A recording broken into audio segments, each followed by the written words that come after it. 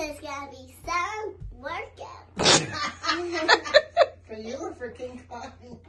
Me and King Kong. Oh, yeah, you're right. Hey, if you put some shoes on, you can walk like outside and walk into the car.